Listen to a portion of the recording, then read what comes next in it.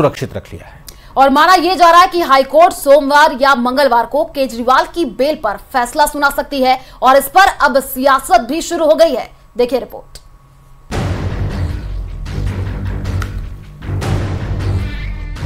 दिल्ली के मुख्यमंत्री अरविंद केजरीवाल अभी तिहाड़ जेल में ही रहेंगे। केजरीवाल की बेल पर दिल्ली हाई कोर्ट ने ब्रेक लगा दिया है। ईडी की याचिका पर हाई कोर्ट ने केजरीवाल की रिहाई पर अगले आदेश तक रोक लगा दी है। दिल्ली हाई कोर्ट ने ईडी और केजरीवाल के पक्ष की दलीलें सुनने के बाद ये फैसला सुरक्षित रख लिया है। अब माना यह जा रहा है कि हाई कोर्ट सोमवार या फिर मंगलवार को केजरीवाल की बेल पर फैसला सुना सकती है। अब इस पर सियासत भी शुरू हो गई है। कल तक जो लोग केजरीवाल को बेल मिलने पर सत्यमेव जयते कह रहे थे, आज वही सवाल उठा रहे हैं। देश की न्याय व्यवस्था के लिए बजने वाली तालियाँ उंगली उठाने में बदल गई न्यायपालिका को स्वतंत्र बताने वाले लोग ही उसके दबाव में होने का प्रमाण पत्र जारी कर रहे हैं। कल केजरीवाल को बेल मिलने पर आम आदमी पार्टी में जश्न शुरू हो गया था। केजरीवाल के जेल से भव्य स्वागत की प्लानिंग भी शुरू हो गई। थी इंडी गठबंधन की ओर से तेजस्वी यादव ने भी केजरीवाल को बेल की बधाई दे दी। लेकिन ईडी ने केजरीवाल की बेल के खिलाफ हाई कोर्ट में याचिका दाखिल की। इसके बाद हाई कोर्ट ने भी केस की सुनवाई होने तक अरविंद केजरीवाल की जमानत पर रोक लगा दी है। इसके बाद केजरीवाल की बेल को लेकर जश्न मना रही आम आदमी पार्टी में सन्नाटा छा गया। केजरीवाल की बेल पर ब्रेक लगने से नाराज़ आम आदमी पार्टी ने कहा कि ये मोदी सरकार की गुंडागर्दी है और मोदी जी ने भारत की न्याय व्यवस्था का मज़ाक बना दिया है। यानी कल न्याय व्यवस्था पर भरोसा दिखाने वाली आम आदमी पार्टी आज ये कह रही है कि भारत की न्याय व्यवस्था दबाव में है।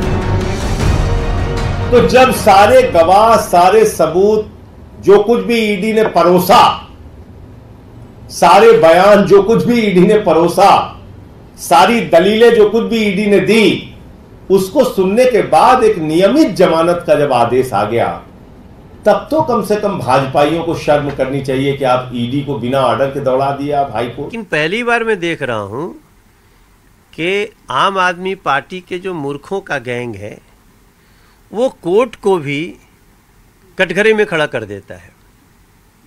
अब उसी कोर्ट ने उन्हें बेल देने से मना किया। उसी कोर्ट ने उनके ही साथी को एक बेल भी दिया। हालाँकि बेल मिलना किसी आरोप से बरी होना नहीं है।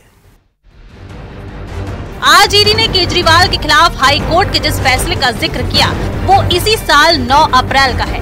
तब हाई कोर्ट ने केजरीवाल की गिरफ्तारी को सही बताते हुए कहा था कि शराब नीति केस में ईडी की कार्रवाई सही है।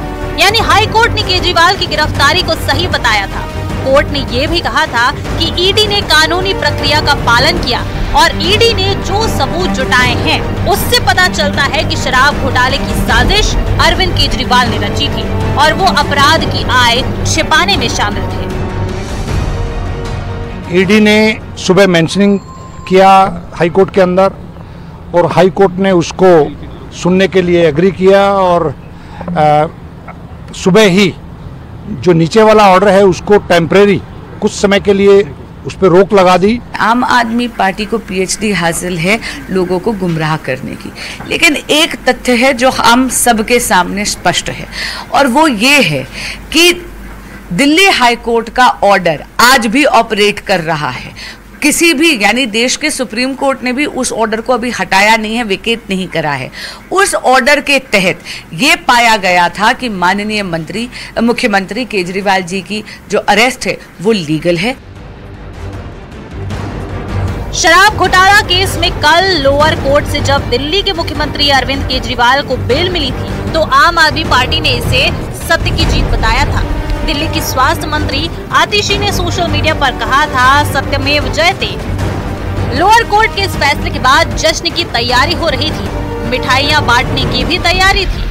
लेकिन 15 घंटे के अंदर ही जब दिल्ली हाई कोर्ट ने केजरीवाल की बेल पर ब्रेक लगा दिए तो आम आदमी पार्टी ने कहा कि ये मोदी सरकार की गुंडागर्दी है। आखिर राजनीति का ये कैसा चरित्र है? Bureau report, news 18